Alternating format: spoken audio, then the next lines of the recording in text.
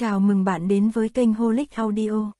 Mời bạn tiếp tục theo dõi bộ truyện trọng sinh chi nữ tướng tinh, chuyển thể thành phim cầm nguyệt như ca của tác giả Thiên Sơn Trà Khách. Hãy để lại bình luận nếu bạn muốn kênh làm về chuyện hay sách nào nhé. chương 31, Tiêu Công Tử Xuân đã gần đến kết thúc, những cơn mưa bắt đầu mang đến thời tiết nóng bức của mùa hè.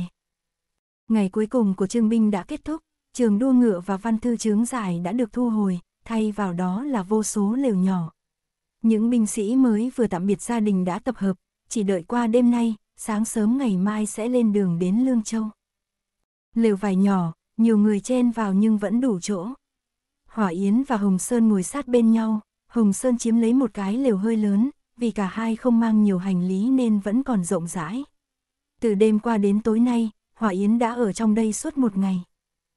Ở đây có màn thầu để ăn, mỗi bữa hai cái, chờ đến Lương Châu ổn định sẽ phát nhiều hơn. Ngoài ra không có gì khác, chỉ là việc đi nhà xí khá bất tiện, Hỏa Yến phải đợi đến tối khuya khi không có ai mới dám lén lút đi. Nàng mới từ nhà xí đi ra, trở về trước lều của mình, nhấc lều vải lên, bên trong đã có thêm hai người. Hồng Sơn đang nói chuyện với họ, nghe thấy tiếng động, cả hai người kia quay đầu nhìn. Đại khái là một đôi huynh đệ, bộ dạng giống nhau, đen đúa gầy gò nhưng tuấn tú, tuổi không lớn, người lớn khoảng 16, 17 tuổi, người nhỏ tuổi bằng Hòa Vân Sinh. Người lớn là anh, trầm mặc ít nói, người nhỏ cười tươi, nhiệt tình hỏi, vị này là ca ca của ngài sao? Đây là A Hòa ca ca của ngươi, Hồng Sơn đáp, rồi giới thiệu với Hỏa Yến, đây là hai huynh đệ mới tới hôm nay, không có lều ở ngoài, tạm ở cùng chúng ta. Hắn chỉ vào người ít nói, đây là thạch đầu, rồi chỉ vào người cười tươi, đây là tiểu mạch. Thạch đầu và tiểu mạch, có lẽ là hai anh em từ gia đình nghèo khó, nếu gia cảnh tốt hơn chắc họ đã có tên đẹp hơn. Hỏa Yến ngồi xuống một chỗ, thêm hai người làm lều vải chật trội hơn. Ngươi là người kinh thành sao? Hỏa Yến hỏi, cảm thấy khát, mở bình nước bên hông uống một ngụm. Thạch đầu ít nói, ngược lại tiểu mạch rất hoạt bát, nói chúng ta ở trên núi Tượng Hoài, thường đi săn để sống, lần trước xuống núi thấy Trương Binh, ca ca cùng ta bàn bạc rồi nhập ngũ. Thì ra là gia đình đi săn trên núi. Cha mẹ ngươi cũng cho phép các ngươi nhập ngũ. Hồng Sơn hỏi, thường thì nhà nghèo mới cho con nhập ngũ, nhưng cũng không để cả hai con trai cùng đi, phải để lại một người. Cha mẹ đã mất sớm, ta và ca ca cùng lớn lên. Hồng Sơn thở dài, vậy các ngươi càng phải giữ mạng, nhập ngũ không phải để chơi. Các ngươi sẽ không phải giống như hắn, muốn lập công danh chứ. Hắn liếc hỏa yến. Đại trưởng phu phải lập công danh, tiểu mạch hồn nhiên nói, lần này đi Lương Châu, chỉ huy là tiêu đô đốc, ta và ca ca ngưỡng mộ đã lâu, được theo hắn làm việc là vinh hạnh. Hỏa Yến đang uống nước, nghe vậy phun ra, suýt sặc. Mọi người trong lều nhìn nàng. Người nói, chỉ huy ở Lương Châu là ai? Nàng hỏi. Tiểu mạch tưởng nàng không biết tiêu đô đốc, giải thích chính là phong vân tướng quân, tiêu gia nhị công tử tiêu hoài cần. Hỏa Yến chấn động. Tiêu Giáp sao lại đi Lương Châu làm chỉ huy sứ? Quan chức của hắn không cần như vậy, hắn có binh mã riêng, sao lại mang tân binh đi Lương Châu? Trừ khi bị giáng chức. Tiêu Giáp bị giáng chức. Tòa nhà tiêu gia ở Kinh Thành được tiêu lão tướng quân xây dựng theo sở thích của thê tử. Tiêu gia qua nhiều đời chưa từng thay đổi bố cục, dù là võ tướng nhưng viện tử vẫn thanh nhã như viện ở Tô Châu. Xuyên qua tường hoa là chính phòng, bên cạnh có một cây thạch lựu chưa ra quả, từ cửa sổ nhìn thấy giá sách bày đầy thư tịch. Có người ngồi trước bàn đọc sách. Thanh niên trắng nón, thần sắc đạm mạc, mang vài phần mệt mỏi, mặc trang phục tùy ý, vân văn cầm y thanh ngọc đai lưng, càng tôn thêm vẻ oai hùng sạch sẽ.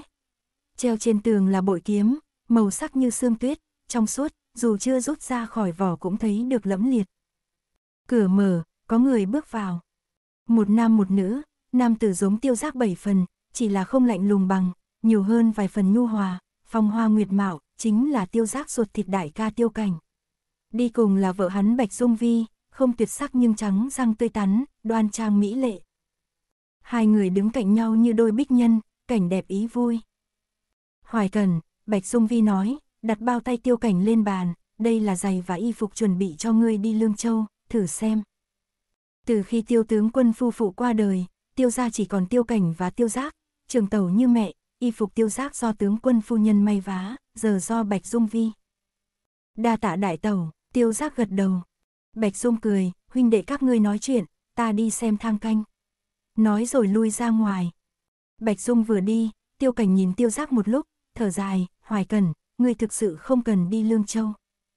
Từ giới phủ gần đây trong chiều nhằm vào ta, tìm phiền phức cho tiêu gia. Tiêu giác nói, Hoàng thượng tin lời từ giới phủ, ta ở kinh thành làm người ta sinh sự. Đi Lương Châu tạm thời tránh cũng tốt, hơn nữa, cái chết của phụ thân có nhiều điểm đáng ngờ, lần này có manh mối, có lẽ sẽ phát hiện mới. Nói đến cái chết của tiêu tướng quân, không khí lập tức trầm xuống. Sau một lúc im lặng, tiêu cảnh vỗ vai tiêu giác, người nghĩ nhiều hơn ta, ta lại không giúp được gì. Đại ca đối mặt tình huống phức tạp nhiều, ta không có ở đây, tiêu gia dựa vào đại ca. Tiêu giác cười, đại ca bảo trọng. Người cũng bảo trọng, tiêu cảnh cảm khái, cố trêu, người nên đính hôn rồi, tẩu tẩu chọn được ai chưa? Tiêu giác nghe vậy, thu hồi nụ cười, bình thản nói, không cần, ta không định cưới vợ. chương 32, trên đường đi Lương Châu. Kinh thành mấy ngày nay yên bình, nhưng trong chiều đã có sóng ngầm. Xuân cuối cùng cũng qua, sau lập hạ, mưa giả dích dường như vô tận, cả thành đều chìm trong màn mưa. Hiệu quân đô đốc Tiêu Hoài Cần tự xin làm chỉ huy sứ, dẫn đầu tân binh đến Lương Châu vệ. Tiêu Hoài Cần vừa đi, thế cục trong triều lại biến hóa, bè phái thái tử mừng rỡ, chỉ thiếu không viết niềm vui lên mặt. Trong triều sự việc không đến tai bách tính, họ vẫn tiếp tục cuộc sống bình thường.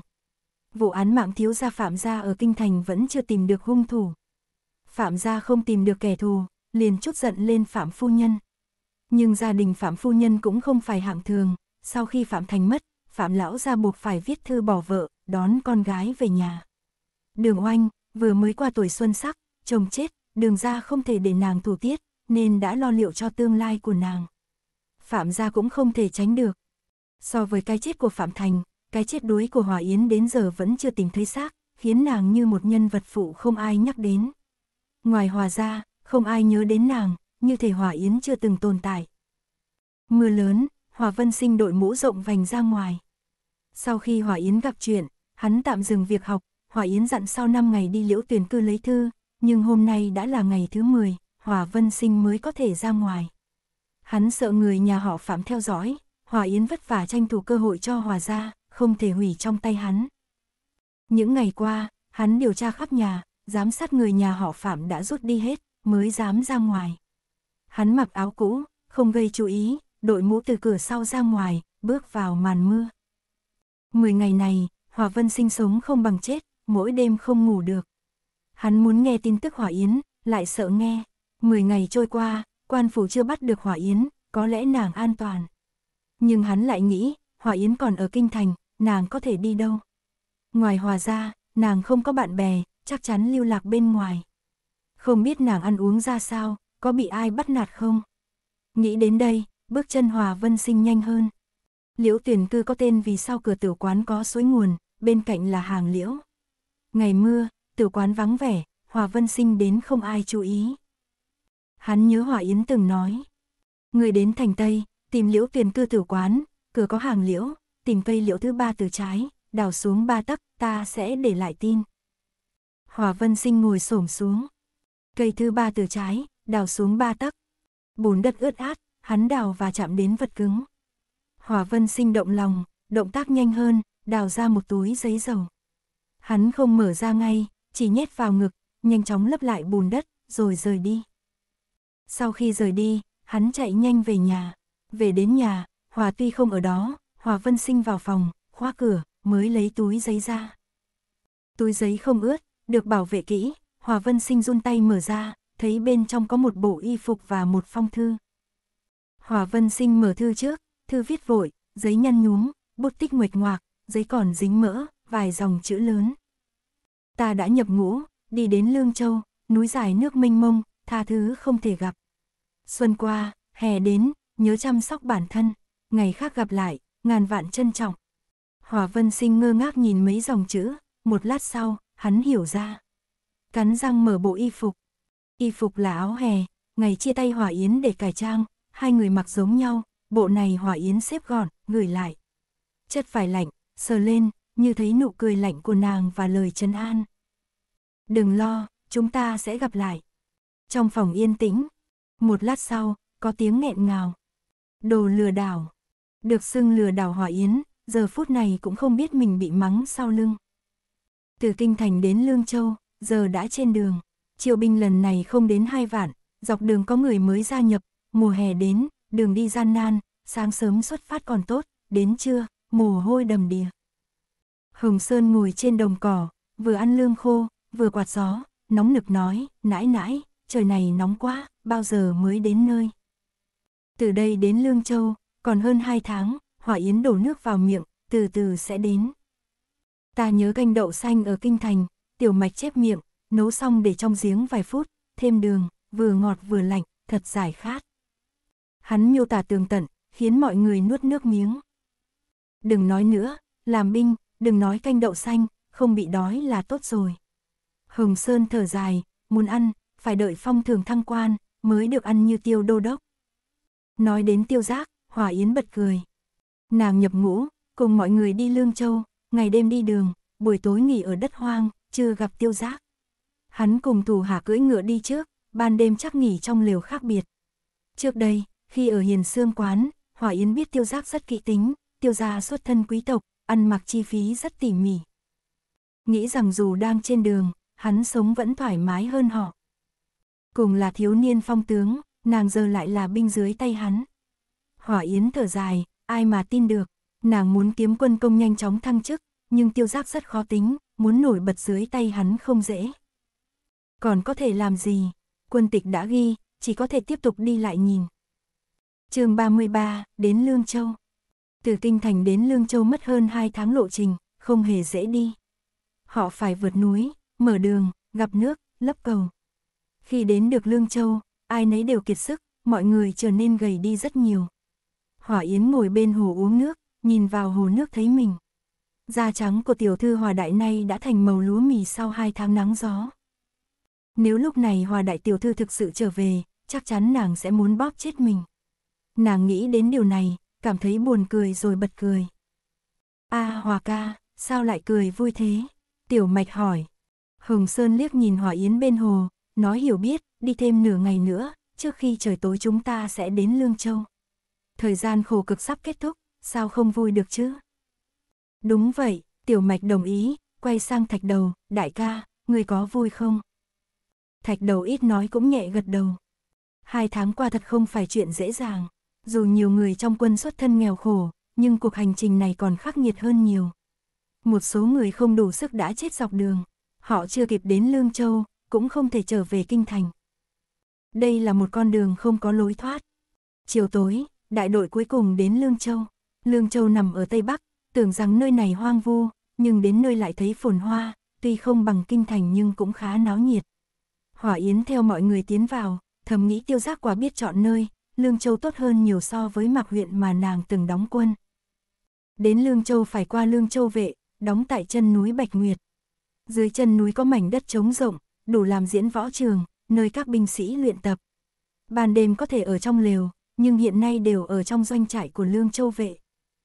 Nhiều người như vậy, doanh trại không đủ phòng, nên phải chen chúc trong các phòng nhỏ, ngủ trên giường ghép lớn.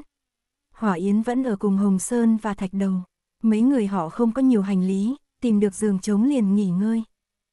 Ta thấy bên này có con sông, Tiểu Mạch hào hứng nói, rất nhiều người đang tắm, chúng ta cũng đi thôi. Tốt, ta đã sớm muốn tắm rửa. Hồng Sơn nói, liền cởi áo ngoài, chuẩn bị chạy ra. Tiểu Mạch nhìn Hòa Yến, a Hòa ca không đi sao? Hắn không đi, hắn sợ nước, ta đi là được. Hồng Sơn đẩy Tiểu Mạch và Thạch Đầu đi ra. Hỏa Yến đã giải thích lần đầu khi Hồng Sơn rủ nàng tắm chung, nói rằng khi nhỏ nàng từng suýt chết đuối, từ đó sợ nước. Hồng Sơn không nghi ngờ gì, thực ra Hỏa Yến cũng không nói dối, nàng thật sự sợ nước. Nằm trên giường ghép, kẽo kẹt một tiếng, nàng không nhịn được nhíu mày, không biết do quá gầy hay vì giường cứng quá. Một lát sau đành thở dài, cảm thán từ kiệm thành sang dễ, từ sang thành kiệm khó. Ba năm trong quân, mới làm phu nhân hứa đại nãi nãi một năm, đã quen với giường êm đệm ấm, giờ lại cảm thấy giường gỗ này khó chịu. Nghĩ đến tiêu giác, giường của hắn chắc chắn mềm mại. Hỏa Yến cảm thấy không công bằng. Nàng nghỉ ngơi trong phòng một lúc, đến khi Hồng Sơn và mọi người trở về, liền cùng họ đến nhà ăn của doanh trại. Hôm nay là ngày đầu tiên, sau hai tháng ngày nào cũng ăn lương khô trên đường, cuối cùng được ăn cơm nóng tại Lương Châu. Dù chỉ là cháo loãng và bánh bao, nhưng nóng hổi, các tân binh ngồi dưới đất ăn như gió cuốn, không biết, còn tưởng đang ăn mỹ vị gì. Bánh bao này nhân thịt chỉ bằng hạt đậu, Hồng Sơn vừa phàn nàn, vừa liếm ngón tay, không đã nghiền. Có cơm nóng ăn là tốt rồi, Hỏa Yến nói, còn hơn lương khô. Không sao, ta nghe nói trên núi Bạch Nguyệt có nhiều thú rừng như thỏ. Tiểu mạch cười, ta và ca ca có thể đi săn, săn được thỏ hay lợn rừng, làm sạch, xiên trên nhánh cây, hoặc gói lá cây, vung chút muối, nướng lên, chi chi bốc mùi thơm, ăn ngon lắm. Tiểu mạch là kẻ ham ăn, ba câu không rời chuyện ăn uống. Hồng Sơn nghe hắn nói càng đói, uống cạn cháo trước mặt, đập mạnh bát xuống bàn, nãi nãi, nghe nói ta muốn lên núi ngay. Quân lệnh cấm tự ý lên núi, hỏa yến rội nước lạnh. Sẽ có lúc được lên núi. Hồng Sơn bĩu môi. Ăn uống xong, mọi người dọn dẹp, luyện binh đã sớm thông báo, sáng mai giờ mão tập trung tại diễn võ trường, hôm nay ngủ sớm. Hỏa Yến theo Hồng Sơn về doanh trại, phòng đã đông người, một số đã ngủ, một số đang trò chuyện, ngăn không được hương phấn. Hỏa Yến nằm giường trong cùng, bên cạnh tiểu mạch, dựa vào tường. Nghe Hồng Sơn vui vẻ nói, so với đoạn đường trước đây, đây mới là thời gian thần tiên. Có ăn, có uống, có tắm, có giường, không phải chịu nắng mưa, không bị mũi phiền. Nhìn qua, thật tốt hơn trước nhiều. Tiểu mạch nhỏ giọng, ở đây luyện binh, ta thấy nhẹ nhàng hơn đi săn trong núi. Hơn nữa, có nhiều người, có thể chơi cùng nhau. Hỏa Yến, đứa trẻ ngốc, làm sao luyện binh nhẹ nhàng hơn đi săn. Họ đều là tân binh, tưởng rằng ngày sau cũng nhẹ nhàng như tối nay. Nhưng giống như bữa cơm từ tù trước khi hành hình, ăn xong là hết. Tối nay sẽ là đêm thoải mái nhất của họ tại Lương Châu, ngày mai bắt đầu mới thật sự là cực hình. Hỏa Yến nhắm mắt, để đứa trẻ ngốc mơ đẹp một hồi. Quả nhiên, sáng sớm hôm sau, trời còn chưa sáng, bên ngoài doanh trại đã truyền đến tiếng tù. a à, sớm vậy, không thể ngủ thêm chút sao. Tiểu mạch chờ mình, dụi mắt, phát hiện Hỏa Yến đã mặc xong, đứng trước giường. a à, Hòa ca, sao ngươi dậy sớm vậy? Hắn mơ màng hỏi. Hồ tên không đáp, đúng giờ không đến, bị quân xử phạt. Nàng cười, không chút ngái ngủ. Không muốn ăn đòn, thì mau rời giường. Cảm ơn bạn đã ghé thăm kênh Holic Audio. chương 34, tư chất quá kém. Trời mùa hè, lúc trời còn tờ mờ sáng. So với những lần trước, lần này bọn họ đi sớm hơn. Đêm qua mới đến Lương Châu, ai cũng phân khích, khó tránh khỏi ngủ muộn, nên khi đến diễn võ trường, ai nấy đều mệt mỏi, thậm chí có người còn sỏ giày ngược. Thạch đầu thì khá hơn, Tiểu Mạch và Hồng Sơn vừa đi vừa buộc đai lưng. Thấy Hỏa Yến tinh thần phấn chấn, hai người ngạc nhiên hỏi, A Hòa, sao ngươi không mệt mỏi chút nào vậy? Đêm qua ta nghỉ sớm, ngủ đủ giấc, hòa Yến đáp. Tiểu Mạch khen, ngươi thật lợi hại. Trong lúc trò chuyện, họ đã đến diễn võ trường. Hôm nay là ngày đầu tiên, đội hình vẫn được sắp xếp như trước. Trên đài cao, một tráng hán mặc trang phục màu đỏ, mắt to mày rậm, dáng người cao lớn như cây, tay cầm trường thương, uy phong lẫm liệt. Kia là ai? hòa Yến hỏi. Đó là trầm giáo đầu, người phụ trách giám sát và huấn luyện chúng ta. Tiểu mạch nhanh nhỏ trả lời. Hỏa Yến gật đầu, nhưng trong lòng lại nghĩ, nàng tưởng rằng tiêu giác sẽ đến tự mình huấn luyện binh lính, nhưng hôm nay ngay cả bóng dáng hắn cũng không thấy. Mặc dù cùng là thiếu niên nhập ngũ phong tướng, nhưng mỗi quan tướng đều có phương pháp huấn luyện riêng. Hỏa Yến còn muốn học hỏi tiêu giác, nhưng xem ra tạm thời không thể. Ta là Trầm Hãn, tổng giáo đầu của các ngươi. Trầm giáo đầu nói vang như chuông, giọng nói chấn động cả diễn võ trường, từ nay về sau, ta sẽ huấn luyện các ngươi. Hắn lắc sổ quân tịch, bây giờ điểm binh. Điểm binh phải nhanh, hôm nay là lần đầu, vài ngày nữa sẽ chia thành các nhóm nhỏ hơn để tiết kiệm thời gian. Đám người từ kinh thành tới chưa từng được huấn luyện, nghe gọi điểm binh chỉ biết đứng đó, thỉnh thoảng lại động đậy người. Tiểu mạch thì thầm với đại ca, đại ca, A Hòa ca đứng yên như khối đá. Thạch đầu nhìn về phía Hỏa Yến. So với thạch đầu, Hỏa Yến đúng là như tảng đá, đứng thẳng tắp, mắt sáng người nhìn trên đài cao, giống như có thể đứng yên như vậy mãi. Thạch đầu nhớ đến lúc đi săn với tiểu mạch, dã thu bắt thỏ rừng cũng lặng lẽ ẩn núp như vậy, không nhúc nhích, giống như tảng đá không có sự sống. Hắn không hiểu vì sao Hỏa Yến lại có thể kiên nhẫn như thế, nhưng điều đó làm hắn thêm phần khâm phục. Điểm binh kết thúc, trầm giáo đầu nói, từ nay, mỗi đội trăm người sẽ có một giáo đầu. Hôm nay, ta sẽ dạy các ngươi quân lệnh. Nói đến đây, trầm hãn cười, nhưng nụ cười ấy chỉ làm mọi người thêm phần lo sợ. Quả nhiên, chỉ nghe trầm hãn quát, ai không đáp, điểm danh không có mặt, sẽ bị phạt. Hôm nay là lần đầu, nên sẽ mở một con mắt.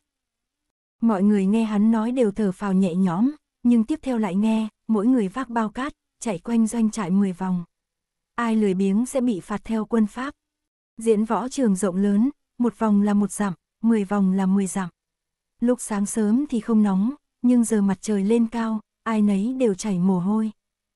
Tiểu mạch hỏi, A Hòa ca, người biết trầm giáo đầu sẽ nói như vậy sao? Làm sao biết, tự nhiên vì năm đó nàng nhập ngũ cũng gặp tình cảnh tương tự, trước tiên phải cho tân binh biết nhập ngũ không phải để hưởng thụ. Nên học thuộc quân lệnh, hỏa yến vỗ vai tiểu mạch, sẽ có ích cho ngươi. Tiểu mạch gật đầu. Theo lời trầm hãn, mọi người chia thành từng đội trăm người, lĩnh bao cát. Hỏa yến tưởng bao cát nhỏ, nhưng khi nhìn thấy, mí mắt nàng giật giật. Bao cát lớn, không buộc vào đùi mà phải cõng trên lưng, nặng chĩu. Trời ơi, cõng cái này chạy 10 vòng thật quá đáng. Hồng Sơn kêu lên. Tiểu mạch nhìn hỏa yến, thấy nàng bình tĩnh nhưng khi cầm bao cát lên cũng không giấu nổi vẻ mệt mỏi. Tiểu mạch thở phào, nhận ra hỏa yến cũng là con người bình thường. Hỏa yến thầm mắng tiêu giác cả ngàn lần, trọng lượng này không phải không thể vượt qua, nhưng dáng người nàng nhỏ gầy, dù cố gắng cũng không thể thành đại lực sĩ trong chốc lát. Rất nặng. chương 35, ra oai phủ đầu. Đội hình trăm người bắt đầu di chuyển theo thứ tự. Đoàn quân trùng trùng điệp điệp vòng quanh chân núi, tạo nên một cảnh tượng hùng vĩ. Dù ngoài miệng ai cũng phàn nàn, nhưng không ai chậm trễ công việc. Đội của Hỏa Yến do giáo đầu Lương Bình dẫn dắt, người không kém phần nghiêm khắc như trầm tổng giáo đầu. Ông ta hô, nhanh chóng xếp hàng, xuất phát. Khi lệnh được ban ra, mọi người liền bắt đầu chạy dài với trọng lượng nặng trên lưng. Hỏa Yến vác một bao cát lớn, cảm thấy như đang mang một tảng đá, cơ thể nàng bị kéo xuống thấp, không thể giữ vững. Từ khi trở thành hòa đại tiểu thư, nàng thường đi đốn củi cùng Hòa Vân Sinh, giúp nàng trở nên mạnh mẽ hơn các cô nương đồng trang lứa. Nhưng phương pháp huấn luyện khắc nghiệt của tiêu giác thật sự khó chịu đựng. Trước đây Hỏa Yến có thể chịu đựng, nhưng bây giờ thì rất khó. Mọi người xung quanh, phần lớn là những người khỏe mạnh và quen sống cực khổ, chạy qua mặt nàng liên tục. Dù mang bao cát chạy mệt mỏi, họ vẫn còn chịu đựng được. Nhưng Hỏa Yến, với thân thể yếu đuối, thật sự rất ít người như nàng có thể vượt qua. Những người yếu đuối như nàng đều đã bỏ mạng trên đường đến Lương Châu, có thể nói, ở Bạch Nguyệt Sơn, Hỏa Yến là người yếu đuối nhất.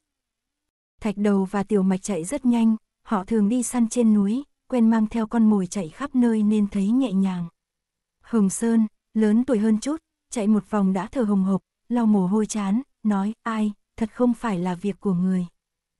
Hắn quay lại nhìn Hòa Yến, thấy nàng đã tụt lại hơn 10 bước, liền chậm lại chờ nàng, hỏi, A Hòa, ngươi còn chịu nổi không? Ta thấy ngươi có vẻ mệt. Hỏa Yến mặt tái nhợt, mồ hôi to như hạt đậu lăn xuống chán, không thấm vào quần áo. Nàng vác một bao cát, trông giống như đứa trẻ bị bán làm lao động ở bến tàu kinh thành, trông rất đáng thương. Ta không sao, Sơn ca không cần lo, ngươi cứ chạy trước, ta chạy chậm ở phía sau. Hỏa Yến cười nói, ngươi chạy sớm để còn vào trong dạp nghỉ ngơi, đừng chờ ta. Ngươi có muốn nói với giáo đầu không? Hồng Sơn trần trừ, rồi thấp giọng nói, hay là lén giảm bớt vài vòng, dù sao cũng không ai nhìn thấy. Ta nắm chắc rồi, Hỏa Yến bật cười, Sơn ca cứ đi trước, lát nữa gặp lại. Hồng Sơn chắc chắn Hỏa Yến không cần giúp, rồi chạy tiếp. Hỏa Yến gãi đầu, cười bất đắc dĩ. Nói với giáo đầu là mình không chịu nổi. Không thể nào, vào quân doanh, không chịu nổi cũng phải chịu. Lén chạy ít vòng, không thể nào, tuy xung quanh không ai nhìn thấy, nhưng giáo đầu rất tinh mắt, còn có giám viên ẩn nấp ven đường. Nếu lén giảm vòng, sẽ bị phạt rất nặng. Những điều này nàng biết rõ khi còn làm tướng quân, giờ làm tiểu binh cũng không thể không biết. Nàng lau mồ hôi, nhìn mặt trời treo cao trên đầu. Thực sự là nóng quá. Trong doanh trại, có người đi ra. Trình Lý Tố cầm quạt xếp, nhìn xa xa ngọn núi bị mây mù che phủ, vui vẻ nói, phong cảnh ở đây thật đẹp, hơn kinh thành gấp 10.000 lần. Cữu cữu thật có con mắt tinh tường. Tiêu giác theo sau, mặc trường bào theo vân văn ô kim, đeo trường kiếm bên hông, ánh mắt như sao, môi đỏ như son, phong thái lịch lãm, dùng nhàn tuấn tú. Bọn họ đang chạy bộ, chật chật, nếu bắt ta làm chuyện này, ta chắc chắn không chịu nổi một khắc đồng hồ. Vậy ngươi cứ trở về, trả lời hắn là giọng lạnh lùng trào phúng. Ngươi nói gì, gió lớn quá, ta không nghe rõ. Cữu cữu, ngươi xem ai tới. Trình Lý Tố chuyển hướng câu chuyện. Người đến là Trầm Hãn, giáo đầu. Hắn dừng bước trước mặt tiêu giác, hành lễ, đô đốc. Tân binh thế nào? Tiêu giác hỏi. Xem ra cũng không tệ, có vài người yếu, nhưng luyện tập một chút sẽ tốt. Trầm hãn trả lời. Người kia là sao? Trình Lý Tố chỉ về phía xa, nhìn như sắp quỳ xuống. Trên đường, một thiếu niên nhỏ bé đang chạy bộ, nói là chạy nhưng thực ra là rất chậm. Hắn đã cách xa đội ngũ phía trước, bao cắt trên lưng trông nặng hơn cả bản thân hắn. Đó là binh của Lương Bình, đang chạy vòng thứ tư. Vòng thứ tư, tiêu giác nhún mày. Những người khác đã bắt đầu vòng thứ bảy, người này mới chạy vòng thứ tư, hắn nhạt nhẽo nói tư chất quá kém. Trình Lý Tố và Trầm Hãn liếc nhau, không nói gì. Bị tiêu giác đánh giá tư chất quá kém thì thật sự rất kém cỏi, không lên nổi chiến trường. Tư chất quá kém cũng không sao, Trình Lý Tố cười, làm đầu bếp binh cũng được, lỡ đâu hắn có tay nghề nấu ăn ngon. Hỏa Yến, người bị đánh giá tay nghề tốt, giờ phút này chạy đến không biết nên nói gì. Bao cát trên lưng rất nặng, nhưng nàng không thể dừng lại. Nàng hiểu rõ, huấn luyện thể lực chỉ mới bắt đầu, sau này sẽ còn nhiều kỹ năng khác như cung nỏ, đao tiễn. Nếu không thể chịu nổi huấn luyện thể lực, sẽ bị đẩy đi làm đầu bếp binh. Nàng không muốn làm đầu bếp binh.